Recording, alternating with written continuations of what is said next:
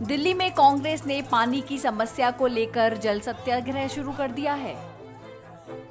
दिल्ली के सुल्तानपुरी इलाके के कांग्रेस के पूर्व विधायक जयकिशन और कांग्रेस के पूर्व विधायक सुरेंद्र कुमार ने सैकड़ों लोगों के साथ मटका तोड़कर प्रदर्शन किया।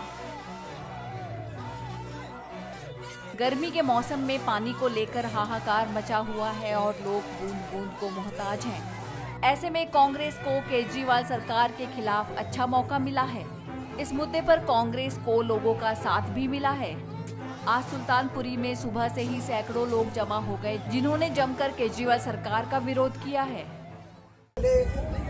सत्याग्रह दिया, उसके बाद पैदल मार्च किया। हज़ारों कांग्रेस के नारी बस्ती के लोग इसे सम्मिलित हुए, आपके सामने है।